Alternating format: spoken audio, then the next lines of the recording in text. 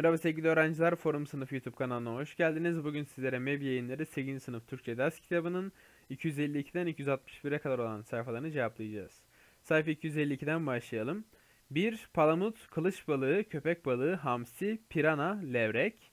2. Bu durum karşısında üzülürüm ancak bunun bana bir ders olabileceğini de düşünerek kendimi avusur ve daha iyisi için çabalarım. Sayfa 256. Birinci etkinlikte videonun kısmını durdurup bulmacayı şekildeki gibi doldurabilirsiniz.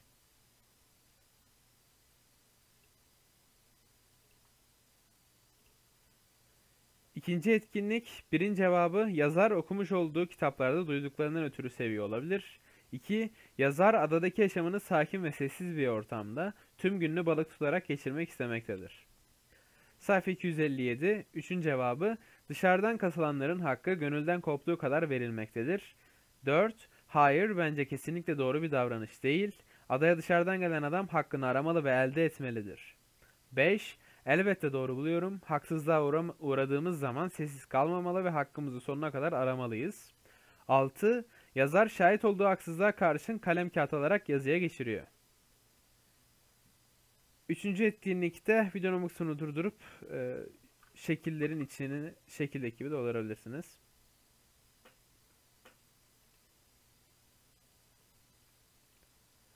Sayfa 258 dördüncü etkinliğin cevabı metindeki anlatım birinci kişi tarafından uygulanmıştır.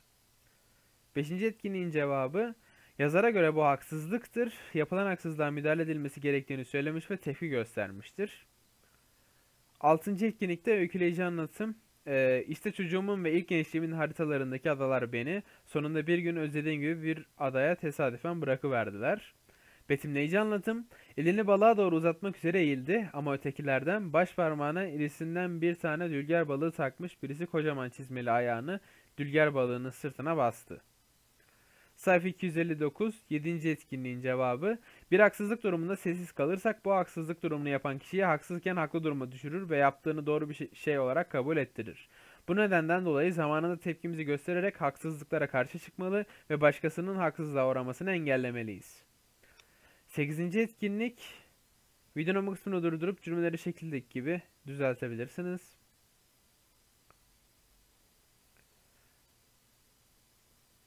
Sayfa 261 9. etkinlik B kısmında videonun bu kısmını durdurup e, sizin için hazırladığımız kompozisyonu sorunuzun cevap kısmına yazabilirsiniz.